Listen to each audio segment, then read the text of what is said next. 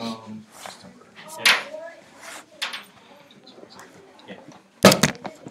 Well, I also they more catering to the pros, the people that had businesses. oh, yeah. We're all set? Okay, good. Almost. Oh, camera. Cameraman's here. If you want to lower that, Yeah, go ahead.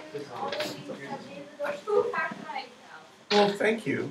Uh, I'm Dr. Bruce, and I should preface that by saying I've come by the nickname honestly. I'm actually a physician. I'm a neurologist, retired. A neurologist, not a surgeon, so I treat people, treated people with uh, everything from migraine, back pain, stroke, epilepsy, multiple sclerosis, Alzheimer's, the whole variety of brain, spinal cord, nerve, and muscle diseases, but medically, not surgically. I'm not a surgeon. You My- get drugs. Pardon? So you can get us drugs. Yes.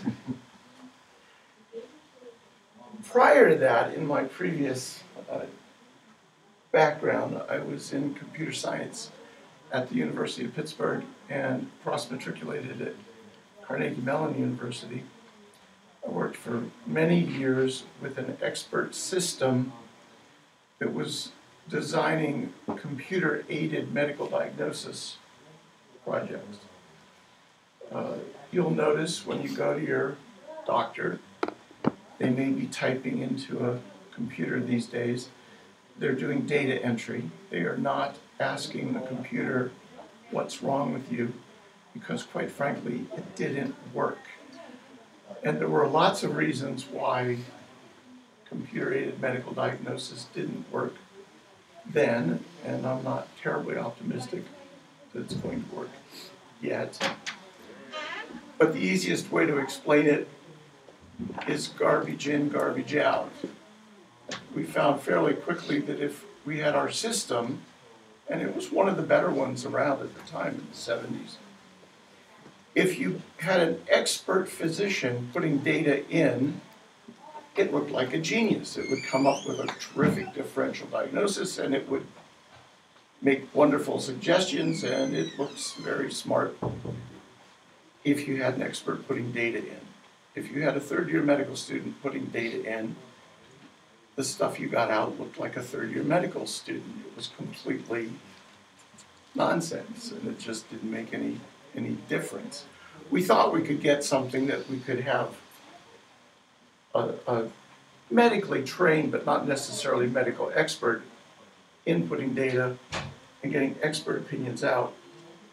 It never worked. It really didn't. So, although there are some medical expert systems out there, they're they're not common. They're not in common use because of garbage in, garbage out. The people who don't need them, the experts don't need them. The people who do need them are the ones that are inputting the garbage information and they're getting garbage out. So I'm impressed, uh, on, on the other hand, with something as simple as Google. If you take some of the key symptoms of a patient, fever, anemia, something, whatever, and you type that into the Google, Google search bar, it comes up with a pretty good differential list. Maybe from Wikipedia or something else, but it really does a halfway decent job. So I won't say it was a dead end, but it was expert systems in those days were all about search. They relied on heuristics. Um, it didn't work as well as we thought it would. So I, I put that away, went to medical school, did medicine for 40 years, came back to robotics as a hobby about 20 years ago. And so what I'm going to talk to you today is my journey through robotics in the last 20 years. I'll tell you that my approach has largely been trying to push my understanding of robots programming, the hardware, the mechanics, people ask me all the time, well, what does your robot do? well, it teaches me about programming and mechanics and electronics and physics and math. That's what it does. It doesn't accomplish anything in the end, but it does all those things and it keeps me entertained. So that's what my robot does. So let's start. We started about 20 years ago, and I was inspired by the Creatures game at the time, which were little cute little creatures on a video game type thing that ran around autonomously. And the idea was that you were supposed to breed them and have them in a world where they perpetuated and somehow evolved. It was a game that was invented by Steve Grand in England. Game is maybe not the right word because, again, there was no point to it other than trying to breed little creatures that would survive. And you would put your little creatures in this virtual world, turn the computer on, go to bed, and come back in the morning, and nine times out of ten, they were all dead. So you tried to find ways of making them better and making them perpetuate. Well, I said, well, why don't we try to do something like that with a real world robot rather than virtual creatures in a virtual world? And I got a couple of people, friends of mine, who were interested, and the Leaf Project was born. Leaf uh, has come to have some attention, some notoriety. Uh, the concept is pretty simple. It's a, a computer, in our case was a laptop, computer on wheels, and somehow the computer controlled the wheels and drove the thing around. In those days, we didn't have a lot of off-the-shelf solutions to things. We had a laptop. We had to come up with our own homebrew microcontroller board and did a custom board that would take USB input from the laptop and control the wheel drivers and read decoders and sonar sensors, things like that. There was a camera hooked directly into the laptop. Here's a picture of me twenty years ago with Leaf. When I say Leaf, Leaf is really the software that runs on the computer that runs all the rest of this. Leaf was an open source, free project and got attention from a lot of robot hobbyists at the time. We were working with the Robotic Society of Southern California, but the Seattle Robotics Group was aware of what we were doing and they got some, we got some attention actually in several different countries as well, picking up and porting the Leaf software into their own robots. So the, the physical design of the robot doesn't matter. It's the software that counts. This is me with Leaf. And you'll, you'll appreciate my advanced mechanical engineering. If this looks similar to a water softener tank, it's because it's a water softener tank. I needed something to hold the robot face up here. It's on wheels down here and there's six sonar sensors. The whole thing is empty. There's the robot uh, uh, PC and the camera. I'm really impressed. I thought it was a trash can. It entered my mind. But the family started to grow, so Alex Brown built his own platform. He put the monitor down here, he's got the camera. They all have microphones and speakers. This is Robin Hewitt from San Diego. She built a very similar structure to Alex's. Alex's was called Rocky, hers was called Mabel. But other people got involved. Henry Arnold built one completely from scratch and put his own monitor and and then our software. Marcel, who was really a robot um, uh, modeler, built a full-scale R2D2 and then put Leaf inside. He also built a uh, Dalek from Doctor Who and put the software in. Thomas Messerschmidt from the Seattle, from the uh, Riverside Robotics actually went out and bought a full-scale B9 robot and put Leaf software into it. So it's been in different forms over the years. So that was commercially available, Yeah. really? Yeah, it wasn't cheap, I understand. He wouldn't tell me how much it was, but yeah. He didn't build that one, he bought it. So this was Leaf. Leaf was a collage of programs that I put together. The face animation is from a Colorado University, uh, CU Animate was the name of the program. It was developed specifically to help deaf and autistic children to speak. There are a series of characters, starting with this one and becoming more and more realistically human.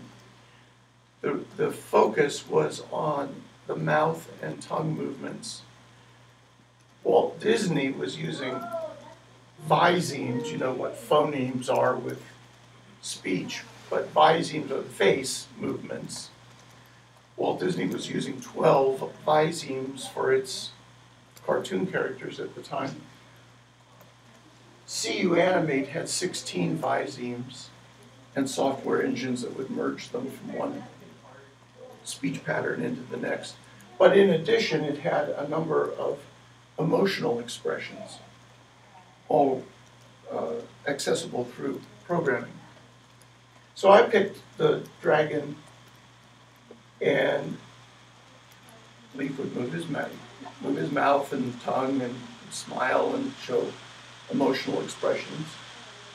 There's a microphone and speakers so you can talk to him and he would respond. And the camera, so using OpenCV and some software that we developed, it could look at you and recognize who you were and then respond accordingly. And because he had that range of emotions, because we could see it, that was useful, and I decided that this is a robot that's gonna be autonomous. So I programmed it, I programmed it in Lisp with a series of emotions that were meant to serve both as motivation. Why would it go do something? Well, it needed some sort of motivation to go do something. and Usually that was because it was unhappy. And how was it unhappy? Well, if it was hungry, meaning its battery was running low, that might prompt it to go seek the recharger. And the the emotions were in a, effectively served in a feedback loop, so that if the behaviors go look for the recharger led to a positive outcome, the battery level went up, then he got more satisfied, happier, and that behavior of going to look for the recharger would be reinforced. So the next time he found himself in that particular world state, he might be more likely to cho- choose that behavior. Now, he could choose something else. He could choose to spin in circles. All that would do is run the battery down. And so after a while of spinning in circles, he's less happy. And that means that particular behavior under that set of conditions is less likely to be chosen. And I should add that it's more and less likely. It's never zero. There's always some slim chance, even after he's done something many times, that he might go off and explore a behavior he's visited before or one that he hasn't visited, even though he might know that there's something with a great probability of success. Because if he doesn't ever go out and explore other avenues, he might be missing something. Is this similar to fuzzy logic that you're doing? No, it isn't. It's very different, it's It's, it's a form of reinforcement learning, memory, world state memory reinforcement learning. And, and it's autonomous reinforcement learning. Because he's, he's got a measure that he can look at and decide if that was worth doing again. Now, you, I also put in, because he has speech recognition, verbal commands, and you could tell him, Leaf, that's bad. And he would have negative reinforcement from you on a particular behavior. Or positive, Leaf, that's good. So you could guide his behaviors, but he could also learn those behaviors. And the sonars would tell if he was in a room that was empty, if it was a room that was crowded, and if he was using the camera, he could tell who he was with. He also remembers all that stuff. So if he's with somebody and he's having good interactions, mainly not being told what to do too much, he didn't like being told what to. He is autonomous after all. In fact, if you just told him, turn around, turn around, turn around, eventually he'd say, I don't want to. You're, I'm not a toy. Quit telling me what to do. Because he's, he's meant to be autonomous, and he'd become more and more irritated, and his facial expression would show that he's more and more irritated. So we had that range of things for him to do, and he remembered. If he's sitting by himself, and this was kind of the final point I wanted to touch. If he's sitting by himself and things get boring, he could get bored, he might decide, well, what should I do? I think I'll go look for somebody. Well, who should I go look for? And now he can play the what if game. And the what if game is what if I went looking and I found Bruce? What if I went and found Anna? What if I went and I found Gary? And he would remember from previous experiences which person had the most positive interaction. And by thinking about it and playing the what if game before he went off to do something, he could decide, you know, I want to go find Bruce. Gary was no fun. I'm going to go find Bruce. And then he would set off again, figuring, well, where, what time of day is it? Where am I? Where's Bruce likely to be? Let's go find Bruce. So he could use his imagination to play the what if game to decide who to go find. All this is well and good. In fact, Leaf had so many subsystems. I really like uh, multi-threading, and so we had lots of subsystems running and lots of interactions and lots of things going on. There were several things I discovered as I was doing this, and maybe haven't solved everything yet. Definitely haven't solved everything yet. He remembers things, but that means at some point you also got to start forgetting things. Which things do you forget? I'm not sure. But you don't want to fill up memory even if it's a, well, in those days you could fill up memory. Now you've got terabyte drives. And it's not quite as much of a problem, but at some point you want to forget things. And, and when do you decide to do certain things? Well, it turns out that I would put in parameters for his emotions. And I would put in parameters for some of his behaviors. And I would put in parameters for other features. And I realized the programming is in Lisp, but I'm putting in parameters or weights for some of these things. And actually, I'm kind of doing meta programming. I'm setting variables to certain weights and creating, I could easily create a robot that got easily annoyed by setting the weights. Or one that never got annoyed, or one that got bored easily, or whatever. By setting those weights in what I came to call metaprogramming, which you could do intentionally if you were aware of it, but you could also do it quite accidentally if you weren't thinking about it. And so it's a whole nother layer of things here that, that sort of developed out of this project.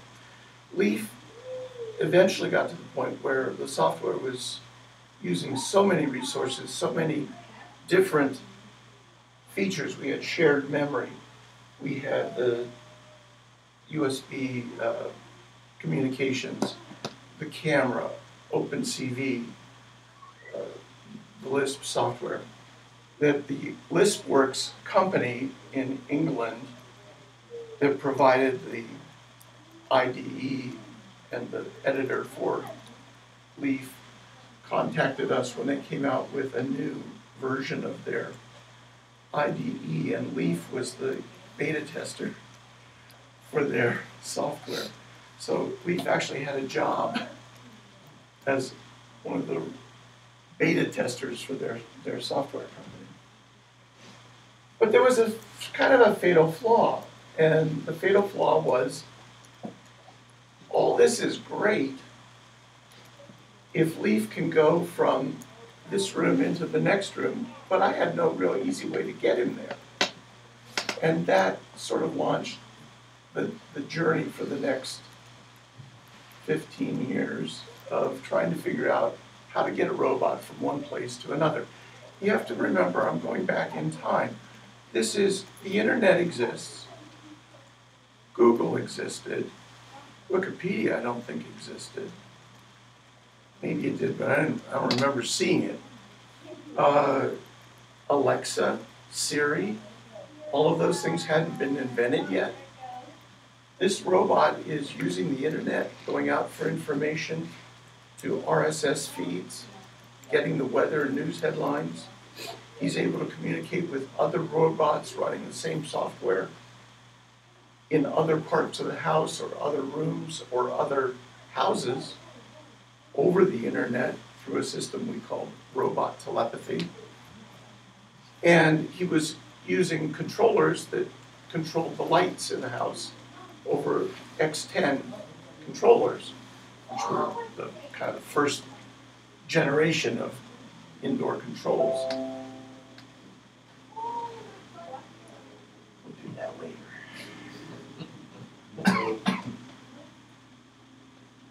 Uh,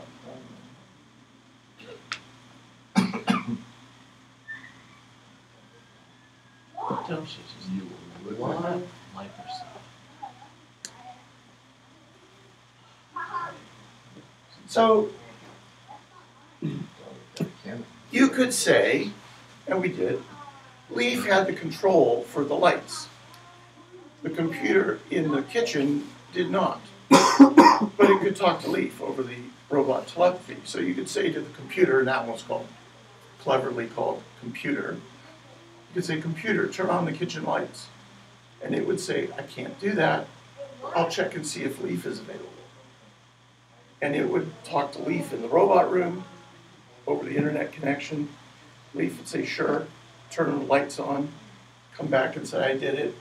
And the computer in your kitchen would say, done. My favorite was uh, the one in the kitchen. I'm in the robot room. My wife says, computer, tell Bruce dinner's ready. And Okay, well, I'll tell Leaf, Leaf says, Bruce, dinner's ready. Anna says, dinner's ready. Oh, no.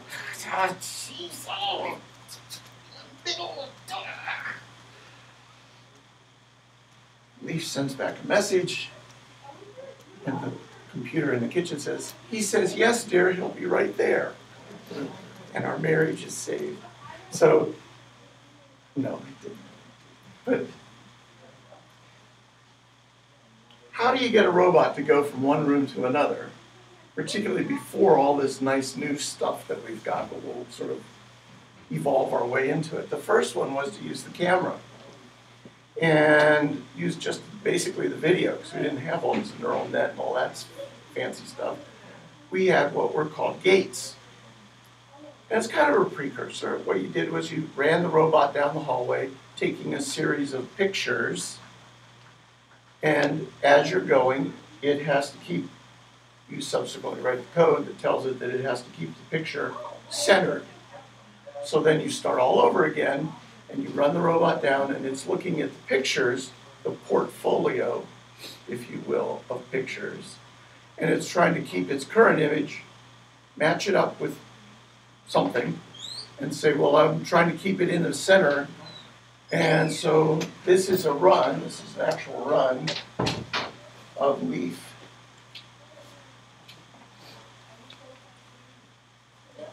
Going down the hallway, power was an issue because this thing ran out of batteries quickly, so we plugged in the laptop. Leaf actually had counterweights on the back so it wouldn't tip over. It went down the hallway, and at the end of the hallway is a 90 degree turn, and then a really sharp little short hallway at the end.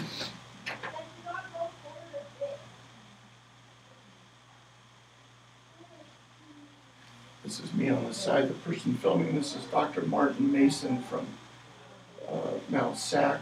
He helped me with this filming. And it went through, and that's not a space. And And that's and without like encoders on the wheels or it's not using encoders, it's strictly using vision. vision. So, Which year was this? uh, 2005. So this is what it looked like, and, and this is what the robot saw going down the hallway with its portfolio of images. It's matching as it goes.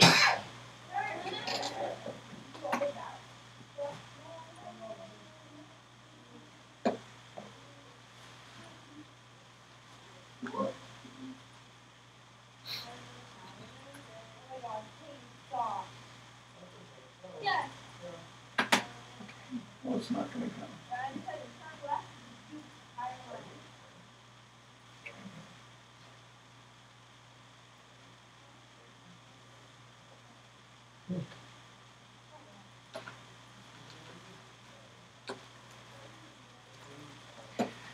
Which brings us to our club motto. It worked at home. That's every robot knows motto. It's the same video as the one I just showed you. Anyway, you can see the lines, you can see the multiple frames superimposed on each other. This is the hallway with the closet door at the end. And gate, gate, gate, gate, gate, all the different images superimposed. And the robot just goes down this passage, tunnel of images, trying to stay in the center. That's what he's seeing as he does what I just showed you. Do you have a play hotkey on the keyboard? I have no idea. Well, if you don't see the play button on your keyboard, then No. So, it was okay. We took a brief um, left turn when ROS came out. When ROS came out, it was incredibly opaque and difficult because there wasn't a lot of documentation for it. You got on the website, you read what they had, you went through their examples. It meant going through Linux. My robot was in Windows. We went to Linux. I managed to get ROS up and running and did a Kinect depth camera, which they had a node for, and used that to go down the hallway. And I could not get it to work. It was impossible. While this had all been going on, the Naval Research Lab in Washington DC had developed a robot called George. George was a laptop on wheels with a more human looking face, bald human face. And it used a series of production rules to figure out how to do different tasks. And it looked a whole lot like my robot. In fact, I was kind of suspicious that there had been more than a casual association there. I did email them. They did send me their code, which is their source code, which is very nice. I didn't go that direction. When I got to the point of trying to get Leaf to work with ROS and the Kinect depth sensor and got stuck, they were kind enough to have Mike Hammer from the National Res- from the Naval Research Lab come out to my house and get the thing to work. So Mike Hammer, who's about six foot four and drove up on his big old motorcycle, came in and worked his magic on ROS and got the robot to make a map and go down the same hallway and into the kitchen. And I have no idea what he did, but he made it sort of work. And when I say sort of, robot went down the hallway halfway, turned, facing the wall, and tried to go through the wall about six times.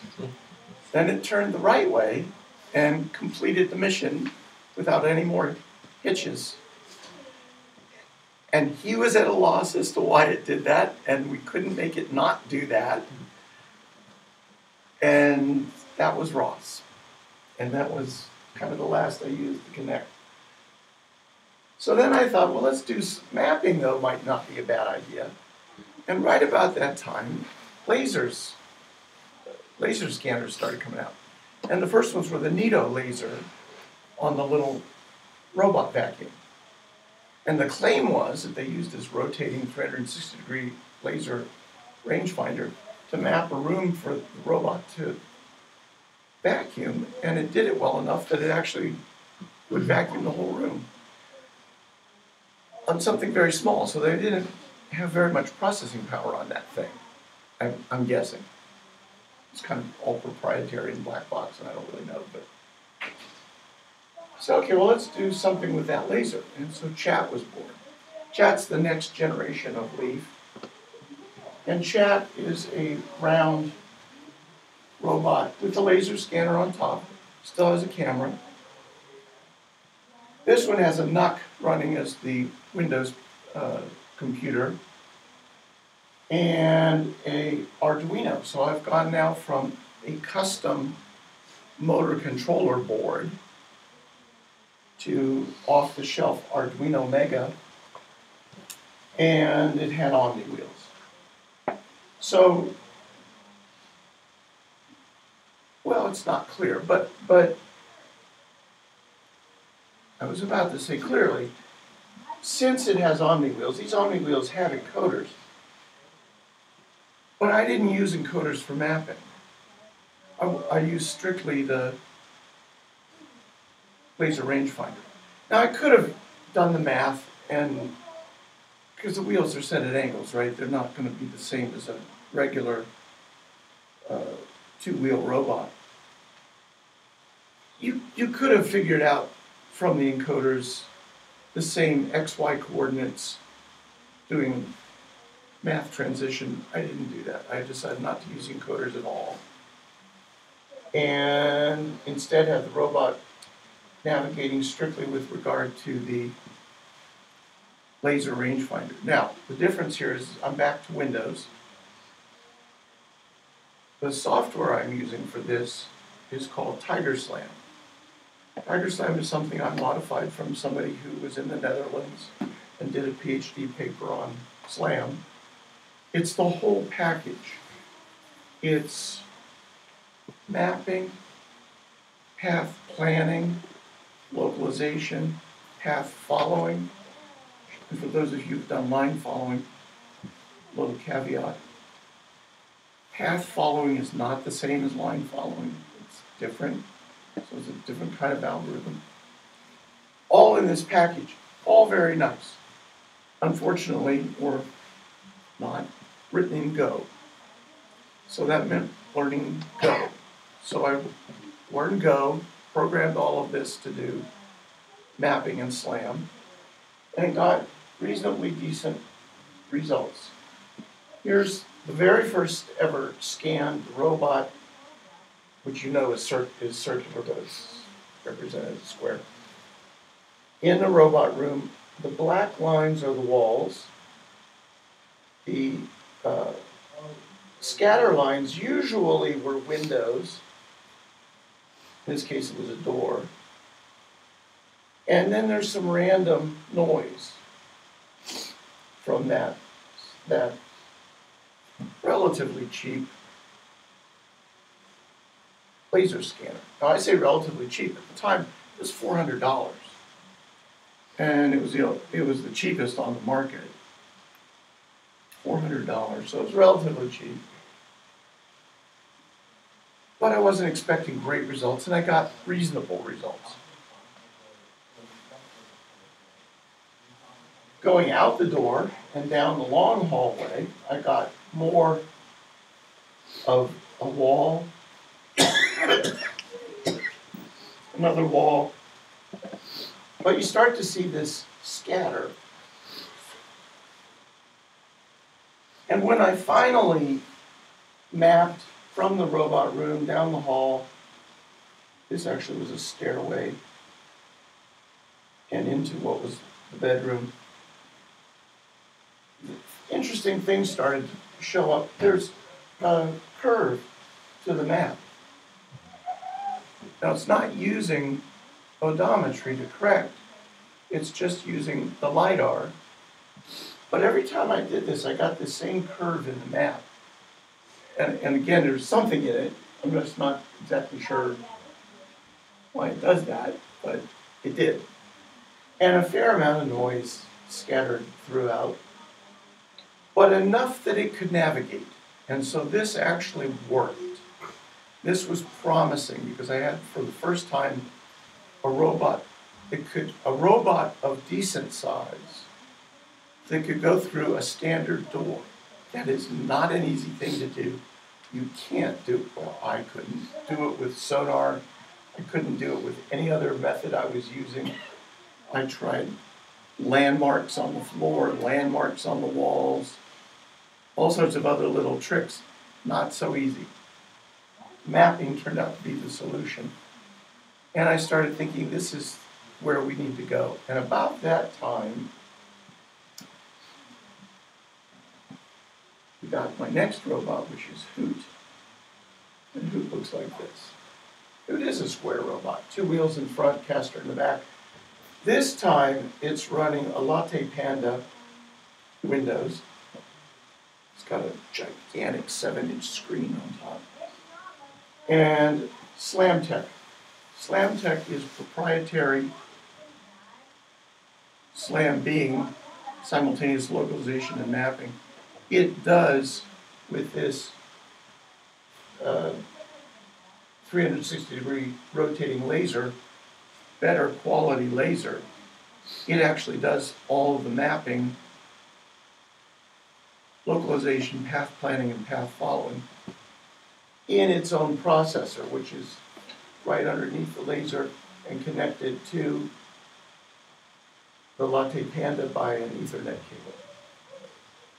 Again, way down at the bottom, we've got the Arduino board, which is running sonars and communicating with the RoboClaw motor controller to run the motors.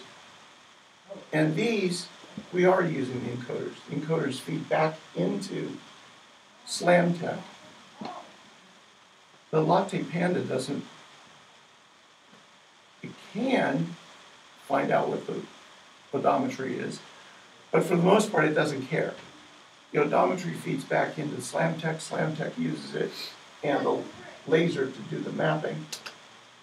And the Latte Panda, this time running Python, is sending all the commands to the Slamtec unit and also down to the Arduino and communicating back and forth.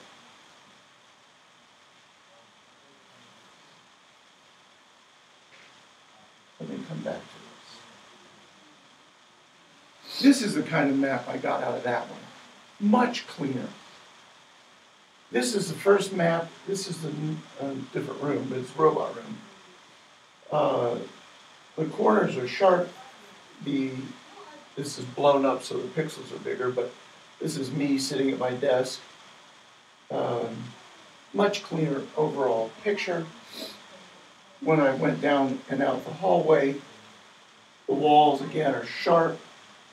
The, the spray of LiDAR is into an empty room, hasn't explored that yet. And this is into another room it hasn't explored. So there's very little noise coming out of this particular laser. And when I map my entire house, starting in the robot room at the home position, down a long hallway, back into the TV room, back around the dining room, back around the living room, uh, out towards the kitchen. These are three bar stools. These are two potted plants. This is the bedroom. That's the, the king bed in the bath in the bedroom. Doorways. Beautiful maps. This map took 15 minutes to make. You tell the robot, you turn the robot on, it's automatically defines itself as a home position.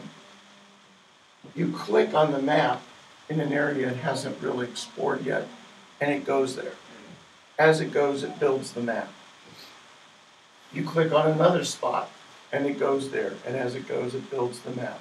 So in starting this, I clicked here, here, here, here, here, here, here, and 15 minutes later, I have a map of the whole house, which it then stores and remembers. You only do it once. How much did you say that unit cost? That's the interesting thing. The whole robot was five hundred dollars. So that includes, yeah, that includes the new and improved uh, laser scanner, the Slamware unit that does the mapping, and all the software that goes with it. And they provided enough information, not easily, but they provided enough information for us to write C and Python hooks into the software to have it run the robot. Make the maps and run the robot. So the last one didn't work. Let's see if this works.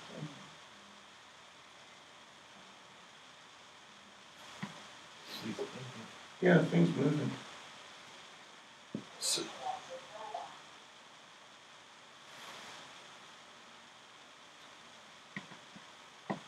mm-hmm.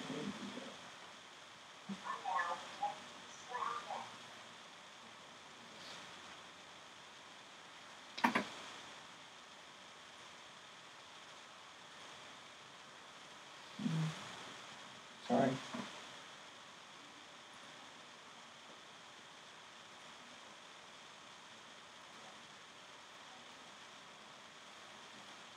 Are we able to turn the sound up on this?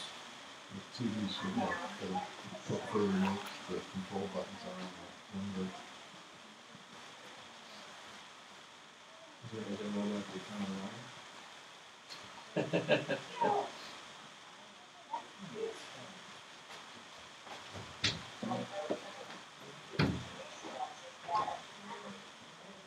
So it's initializing, it is connecting to the internet, it's connecting to Google Assistant. Okay, I'm ready.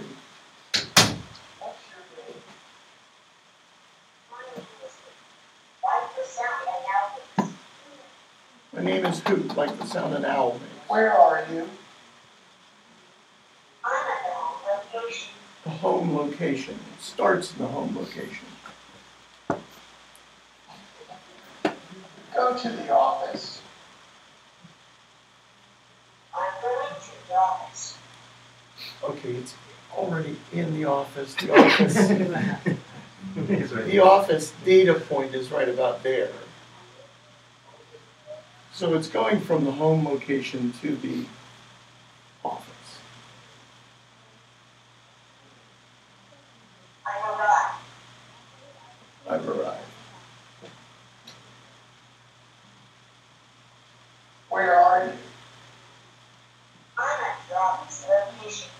So it knows it's move.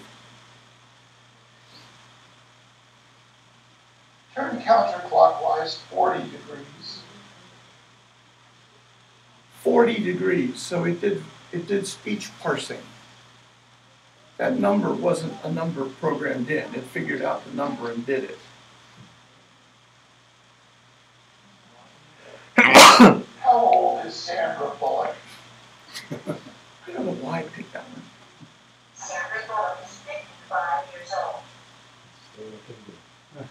Think she's How old fifty-six. is Abraham Lincoln? Abraham Lincoln was fifty-six years old, but died at age. What's that connecting to? Google Assistant? Google What is Assistant. the capital of Alaska? Juneau is the capital of Alaska. What's It the does way back. population of Juneau? Population was thirty-two thousand one hundred and sixty-four as of two thousand and eleven. How are you feeling? I'm feeling happy. Yeah. Begin shutdown. Okay, I'm shutting down. When you say how, how am I feeling, right, is it, are you asking Google Assistant or you robot? the robot. Now, it uses Google uh, speech recognition to figure out what you said and, and analyze that speech. But then it's, it's the robot answering the question, not Google Assistant. Well, So- Unless the robot doesn't know the answer to the question and then it goes out. Then it goes out to Google Assistant. And the speech recognition is far better than anything we used to have. It's certainly on par with Alexa. I think maybe better in terms of its answering capabilities.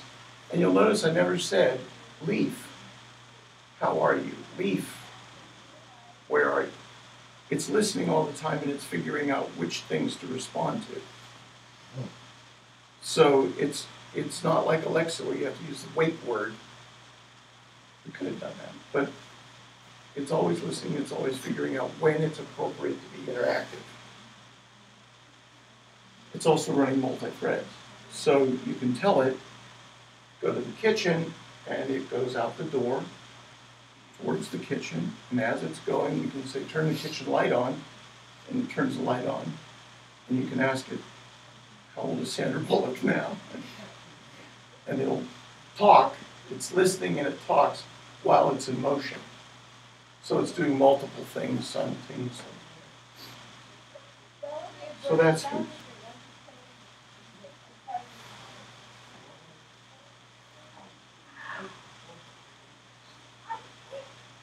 Which brings us to Jen. So I'm a, I'm a neurologist. and over and over again, people said, well, then you must know all about neural nets. No, the two have nothing to do with each other. Everyone doing neural nets likes to say it's modeled on neurons, and the human brain is not. Nothing, oh, remotely similar, I suppose like that brick wall over there is modeled on traffic lights. That's about as much similarity, you know, different colors and it's, yeah. Neural nets and human brain, not that similar. But it's an interesting thing. And I don't know if you knew this, but I was researching this as I was going along in 2010 or thereabouts. Stanford almost dropped neural nets from their core curriculum because they thought it was a dead end. And around that time, they started coming out with better ways of doing back propagation and figuring out mathematical shortcuts essentially, because a lot of it's kind of parallel, parallelized mathematics going in back prop. And NVIDIA started coming out, and others started coming out with GPUs that allowed you to actually offload some of these things into true parallel processes and start accelerating this whole uh, neural net training system. So, so along comes JetBot, and it's based on the, the uh, Jetson Nano, which is the board on top here. The heat sink and the fan are bigger than the board. There's a, an expansion board on the bottom, which basically holds the three batteries, lithium ion batteries, and a uh, motor controller to run the little DC motors, and a control for the uh, Wi-Fi connection, and But it's also, it's a module. The actual modules, that nano part. is actually this module right there. Correct. And that's a carrier just to Correct, break out the stuff. correct. So this is this kit, the JetBot AI kit. It's from Yahboom, it's two hundred and fifty bucks. Uh, you put it together with a screwdriver, it's, there's no complicated wiring or soldering. But you get a four-core Cortex CPU, which runs about the same as the Raspberry Pi 4, 4B, the new one. And the Raspberry Pi 4B is running 10 times faster than the Raspberry Pi 3. So this is a really souped up little CPU. But in addition, it's got 128 core GPU on board that, that uh, processor board. So you got both with four gigabytes of uh, RAM, four gigabytes of 64-bit RAM. My first computer that I worked with at the university was a PDP-8E. Uh, Some of you will laugh. Mine was Commodore sixty-four. That came, yeah, as a personal computer. This was a university computer.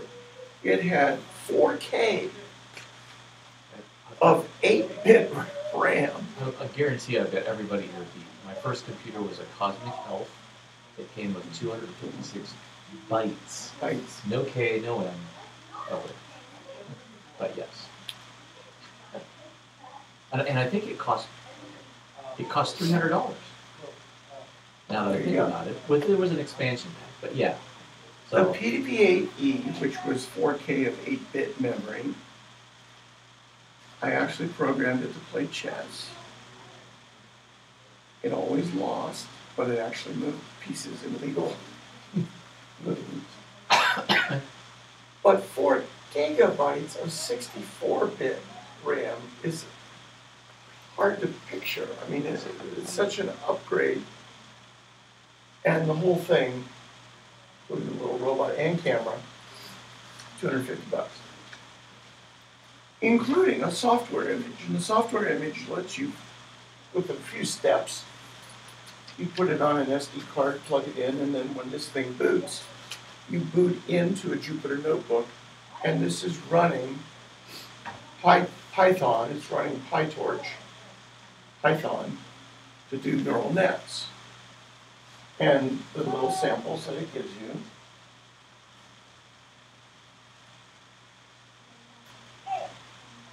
This one is object avoidance. They programmed this on an AlexNet with a thousand a thousand different objects that it could recognize. And they trained it on millions of images. And then using that AlexNet network, you it on a few images. They suggest a hundred, like the side of the wall, the door, different objects in the room, and a hundred or so open spaces. So it now knows two objects, open and blocked, to do object avoidance as it runs around. And you're training it on a net that's been pre-trained. So what you're doing is transfer learning. You're taking somehow having trained it on a thousand objects, it knows knows something about objects. It's extrapolated some information in that network about what an object is.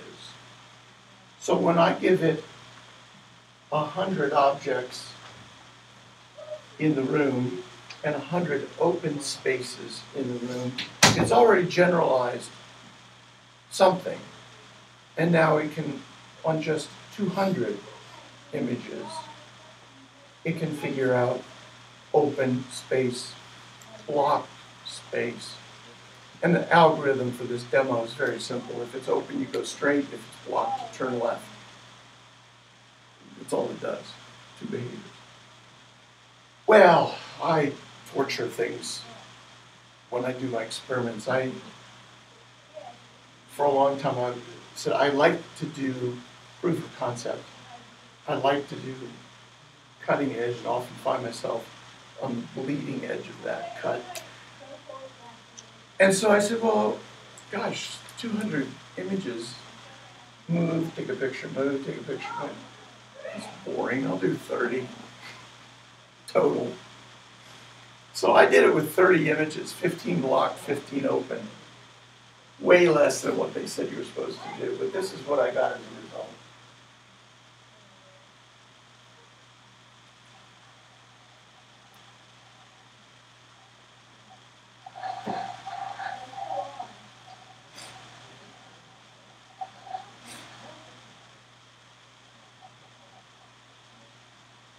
I'm standing, I'm standing here, you won't see it, but it reacts to my foot there.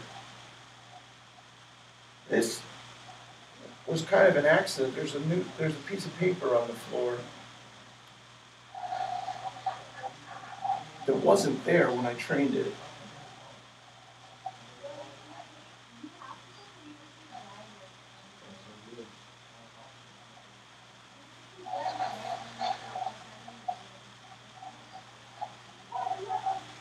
Saw the paper and it turned, and I didn't teach it paper.